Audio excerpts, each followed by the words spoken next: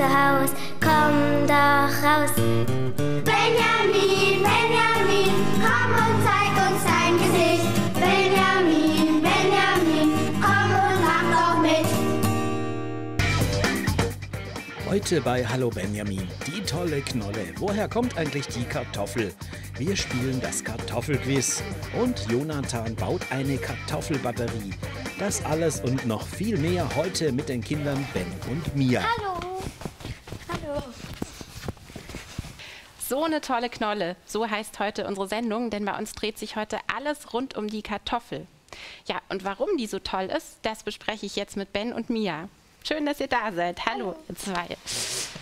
Was wisst ihr denn alles über die Kartoffel? Also die Kartoffel kommt nicht aus Europa und die, und die Süßkartoffel gilt eigentlich nicht als Kartoffel. Genau, die heißt zwar so, aber die ist eigentlich gar nicht mit der Kartoffel verwandt. Die haben wir sogar hier in unserer Deko, die Süßkartoffel. Mia, fällt dir noch was ein? Ja, es gibt verschiedene Arten von Kartoffeln, zum Beispiel die Annabelle. Die haben auch ganz lustige Namen immer. Genau, verschiedene Sorten. Wir können immer einen anschauen. Ich sehe die schon die ganze Zeit. Die sieht nämlich aus wie ein Herzchen. Ja. Und welcher Teil der Pflanze ist es denn genau? Die. Knolle. Die Knolle, genau, die ist unter der Erde. Das ist das, was wir als Kartoffel bezeichnen. Ja, und die kann man natürlich auch essen. Wie esst ihr die denn am liebsten? Als Pommes. Hm. Und ich mag sie gerne als Kartoffelgratin und der Kartoffelsalat von meiner Oma. Und Ofenkartoffeln schmeckt auch gut. Also ganz viele verschiedene Arten, wie man die Kartoffel zubereiten kann. Ja, ich sehe schon, die ist aus unserer Küche nicht mehr wegzudenken. Aber kommt die denn überhaupt aus Europa? Du hast es ja gerade schon angesprochen. Benjamin, du weißt doch sicher mehr dazu. Hallo Tina, hallo Kinder. Tatsächlich kommt die Kartoffelpflanze ursprünglich aus Südamerika. Die Menschen bauen sie dort schon seit über 7000 Jahren an. Erst im 16. Jahrhundert kam sie auf Schiffen zu uns. Damals hat man sie in Gärten angepflanzt, weil ihre Blüten so schön waren. Die Menschen in Europa wollten die Kartoffel zuerst gar nicht essen, weil sie als Giftpflanze galt. Ein damaliger König, Friedrich II. von Preußen, konnte seine Untertanen aber überzeugen, dass die Knolle gekocht ganz prima schmeckt und vor allem satt macht. Im Geschichtsunterricht haben wir diesen Friedrich deshalb später auch den Kartoffelkönig genannt. Spannend, Benjamin.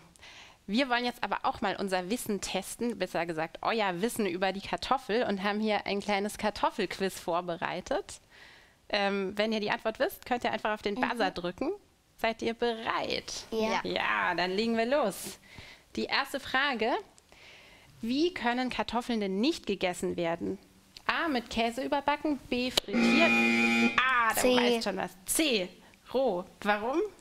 Ähm, weil da Gift drin ist. Genau, also besonders die Schale ist, ähm, soll man ungekocht einfach nicht essen, die ist giftig. Super. Dann machen wir weiter mit der nächsten Frage. Wie werden Kartoffeln denn auch genannt? A. Erdäpfel, B. Erdlinge oder C. Erdnüsse? A. Erdäpfel. Genau, die anderen sind natürlich Quatsch. Das ist vor allem in, in Süddeutschland oder in Österreich oder in der Schweiz werden die so genannt. Wie heißt denn eine beliebte Kartoffelsorte? A. Vanessa, B. Sieglinde oder C. der Kevin? B. B. Sieglinde. Hast du die schon mal gegessen? Äh, weiß nicht. Weißt du nicht. Wahrscheinlich schon. Die ist nämlich echt sehr beliebt. Die nimmt man vor allem für den Kartoffelsalat her. Da eignet die sich besonders gut. Das ist auch eine der ältesten aus Deutschland. Wie viele unterschiedliche Kartoffelsorten gibt es denn, was glaubt ihr? A ungefähr 40, B ungefähr 400 oder C ungefähr 4000? Hm, Vielleicht ähm, B. Ungefähr 400. Ja, das ist äh, schon viel, aber es gibt noch viel, viel mehr. Es gibt ungefähr 4000, aber in Deutschland sind nur 200 verschiedene Sorten zum Anbau zugelassen überhaupt. Insofern war 400 vielleicht gar nicht falsch, weil das ahnt man ja nicht, aber es gibt tatsächlich sehr, sehr viele. In welchem Land werden denn die meisten Kartoffeln angebaut? A in China, B in Argentinien oder C in Deutschland? C. C in Deutschland. Wir lösen mal auf. Nein, das ist falsch. In China. Denkt man gar nicht, gell? Weil man denkt, die Kartoffel ist sowas typisch Deutsches. Aber in China werden 90 Millionen Tonnen pro Jahr geerntet. Das ist ganz schön viel. In Deutschland gibt es jedes Jahr ungefähr 60 Kilogramm Kartoffeln. Wow, so viele Kartoffeln. Die müssen natürlich auch irgendwo herkommen. Deswegen haben wir mal einen Kartoffelbauern besucht und uns angeschaut, wie die Kartoffeln wachsen und wie die dann geerntet werden. Kartoffeln sind extrem vielseitige Knollen. Ich mag sie als Pommes, Bratkartoffeln, Chips oder Kartoffelbrei. Angebaut werden Kartoffeln zum Beispiel auf dem Bio-Bauernhof der Familie Bodemer. Aber wie funktioniert das eigentlich? Alles fängt mit den Kartoffeln des letzten Jahres an. Die werden kontrolliert und die schlechten aussortiert. Gleichzeitig werden die zu langen Triebe, die über den Winter gewachsen sind, entfernt und die Kartoffeln landen in Kisten. In diesen Kisten werden die Setzkartoffeln dann im April auf das Feld transportiert und in einen Traktor mit einem besonderen Anhänger geladen. Der bringt die Kartoffeln in die Erde. Dazu gräbt ein kleiner Pflug eine Rinne in den Acker. In diese werden dann genau im richtigen Abstand die Kartoffeln gelegt. Dabei muss man vorsichtig sein, die kleinen Triebe nicht abzubrechen, denn aus ihnen entsteht später die Kartoffelpflanze.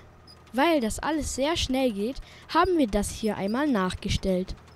So fährt Landwirt Bodemer nun Reihe für Reihe über sein Feld und verteilt die Knollen einige Zentimeter tief in der Erde. Dann heißt es warten. Langsam treiben die Setzkartoffeln weiter aus und bilden kleine Pflanzen an der Oberfläche.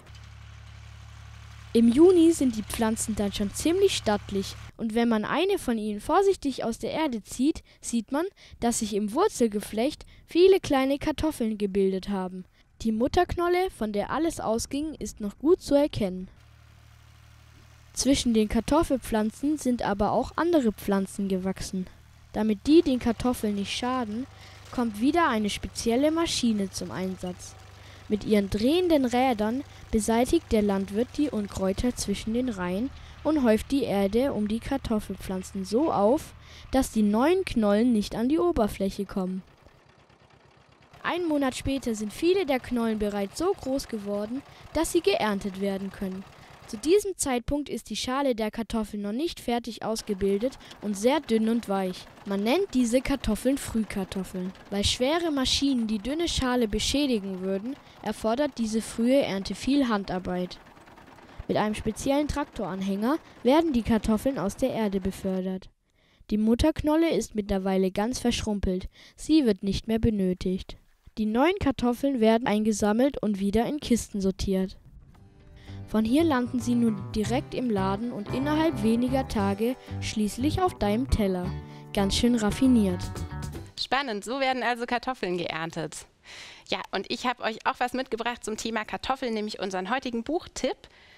Das Buch hier, das heißt Rogers Pommesbude. Und Roger ist nicht etwa ein Mensch, sondern ein Dackel, ein ganz außergewöhnlicher Dackel, auf der Suche nach dem großen Glück und auch nach einer großen Geschäftsidee und da fällt ihm ein, dass er eine Pommesbude eröffnen könnte.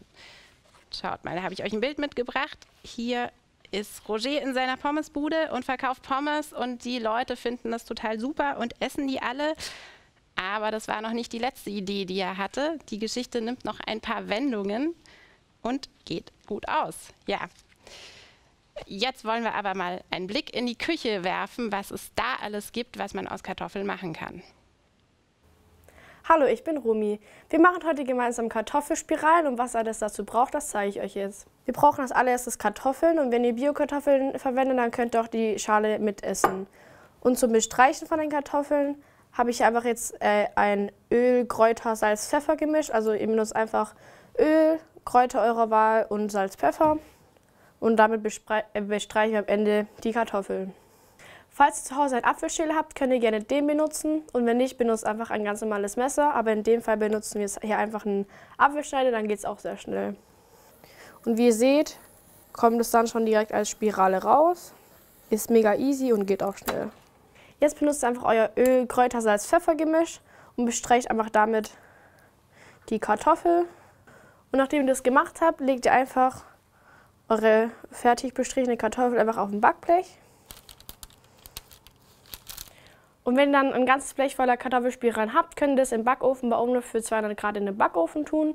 Und wenn die danach ähm, im Backofen fertig sind, könnt ihr zum Beispiel hier noch äh, einen Frischkäse-Schnittlauchdip machen oder andere Dips, die ihr gerne haben möchtet.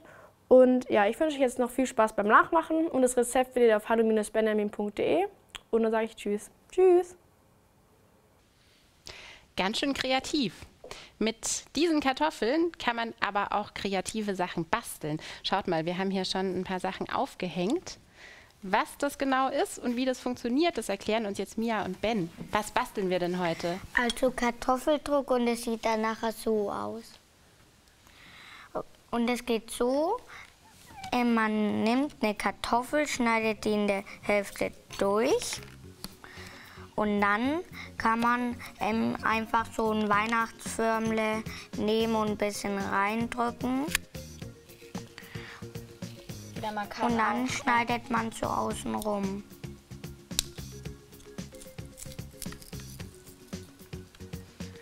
Man kann auch eine alte Kartoffel nehmen, ähm, die zum Beispiel Augen hat oder faulig ist. Dann verschwendet man keine gute Kartoffel, die man noch essen könnte.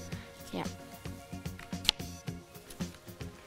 Genau, super. Der Ben schneidet noch. Das ist wahrscheinlich gar nicht so einfach, diese Förmchen auszuschneiden. Ja. Du machst auch noch einen Igel.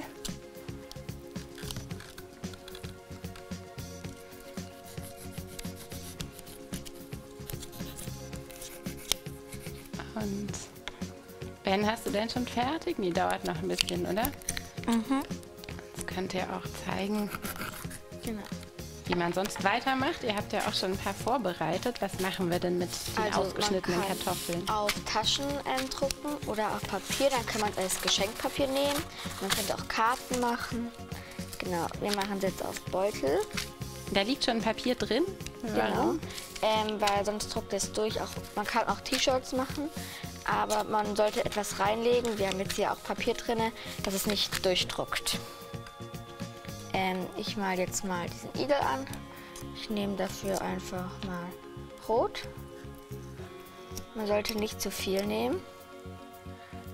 Sonst rutscht es weg, wenn man es drauf macht. Dann pintelt man pintelt man es einfach drauf. Genau. Jetzt wird gestempelt. drückt man einmal drauf, dass es auch wirklich drauf ist. Nicht zu fest, dass es nicht wegrutscht.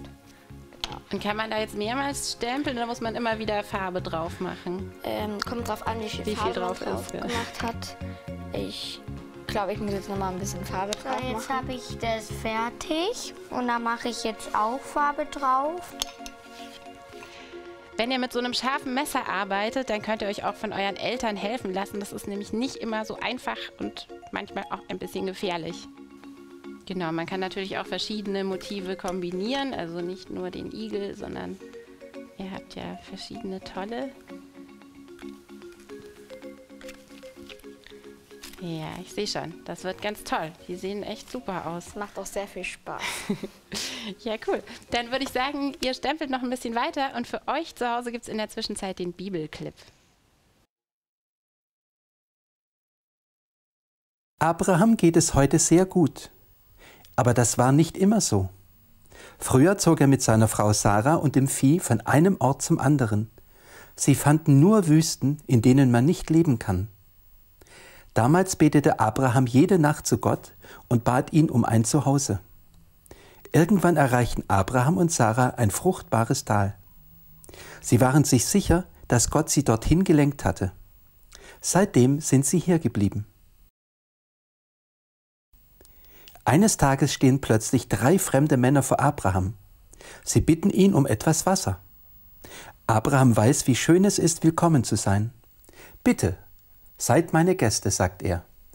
Irgendwie fühlt er, dass von den drei Männern etwas Besonderes ausgeht. Er möchte, dass sie sich rundum wohlfühlen. Sarah bereitet das Essen zu. Dann wäscht sie die Füße der drei Männer. Es war damals so üblich, das für seine Gäste zu tun. Abraham bereitet derweil ein bequemes Nachtlager vor. Als sie alle am Tisch sitzen, danken sie Gott für die Tischgemeinschaft. Manchmal hat Abraham das Gefühl, dass die drei Männer nur eine Person seien. Am nächsten Morgen, nachdem sie die Männer verabschiedet haben, sagt Abraham zu seiner Frau, Ich glaube, wir hatten Gott zu Gast. Viele Menschen auf der Welt müssen hungern, weil in ihren Ländern Krieg herrscht oder weil ihre Ernte zerstört wurde. Auch in Europa mussten die Menschen hungern, als sich im 19. Jahrhundert in Irland die Kartoffelfäule über die Knollen hermachte. Dass wir so viele leckere Gerichte aus Kartoffeln essen können, ist also keine Selbstverständlichkeit. Ich bin deshalb immer ganz dankbar, wenn es zu Hause den leckeren Kartoffelsalat gibt. Stimmt, Benjamin. Wir sollten wirklich dankbar sein, dass wir so eine tolle Knolle haben. Sie ist gesund, macht satt und man kann auch noch mit ihr basteln. Und Jonathan, sag mal, was kann man denn noch mit ihr machen? Für unser heutiges Experiment braucht ihr die dicksten Kartoffeln, die ihr finden könnt. Denn die Kartoffel ist nicht nur ein sehr leckeres Lebensmittel, in ihr steckt noch viel, viel mehr. Man kann aus ihr Strom gewinnen. Wie das funktioniert, zeige ich euch jetzt. Ihr braucht dafür solche Krokodilsklemmen hier, verzinkte Nägel und Centmünzen und natürlich so eine Leuchtdiode hier vorne. Als allererstes müssen wir mal hier die Kartoffel einschneiden und an das eine Ende dann die Centmünze eindrücken. Das geht ein bisschen schwierig und auf die andere Seite kommt der Nagel. Das machen wir mit den drei Kartoffeln. Ich habe das hier schon vorbereitet und als nächstes verbinden wir einfach die einzelnen Teile und bauen einen kleinen Stromkreis. Das funktioniert so. Einmal hier beim Nagel anklemmen und das andere dann hier an der Münze befestigen. Das müssen wir jetzt zweimal machen und dann ist unser Stromkreis auch schon fertig. Das Besondere ist, dass sowohl im Nagel als auch in der Münze hier Metalle drin stecken und diese Metalle gleich mit ähm, dem Saft in der Kartoffel reagieren und dann die Leuchtdiode zum Flackern und zum Leuchten bringen. Hier ist noch eine Sache ganz wichtig. Wenn ihr ganz genau hinschaut, seht ihr, die eine Seite vom Draht hier ist ein bisschen kürzer und die müssen wir mit der Kartoffel verbinden, wo der Nagel drin steckt. Und die andere Seite ist dann hier von der Münze. Und jetzt kommt der spannende Moment. Es leuchtet. Aus der Kartoffel fließt direkt Strom hier an die Lampe. Aber wie funktioniert das? Eigentlich ganz einfach. Der Saft der Kartoffel löst kleine Teile aus den Metallen aus, die vermischen sich und dadurch entsteht der Strom. Es entstehen Elektroden. Das kennt ihr von einer ganz gewöhnlichen Batterie mit einem Plus- und einem Minuspol. Und der Strom wird eben hier über die Kabel direkt zur Lampe geleitet und die Lampe beginnt zu leuchten. Ein ganz spannendes Experiment. Ich wünsche euch viel Spaß zu Hause beim Nachmachen und wir sehen uns das nächste Mal wieder. Tschüss! Wow, einfach stark diese Knolle. Ich hoffe, ihr zu Hause habt genauso viel gelernt wie wir hier über die Kartoffel. Wenn ihr zum Beispiel ähm, diesen Kartoffeldruck, den wir heute gemacht haben, nochmal nachschauen wollt, dann klickt euch einfach rein bei hallobenjamin.de. Und auch im Benjamin Magazin gibt es jede Menge tolle Basteltipps und Rezepte zum Nachlesen. Für euch zu Hause kommt jetzt noch die Preisfrage von Benjamin, also gut aufpassen. Und für uns war es das schon. Schön, dass ihr dabei wart. Wir sagen Tschüss, bis zum nächsten Mal. Tschüss. Tschüss. Meine Preisfrage lautet heute, woher kommt die Kartoffel ursprünglich? Schreibt mir schnell, damit ihr tolle DVDs und Bücher gewinnen könnt. Und vergesst nicht, eure Adresse mitzuschicken. Also, bis bald. Tschüss.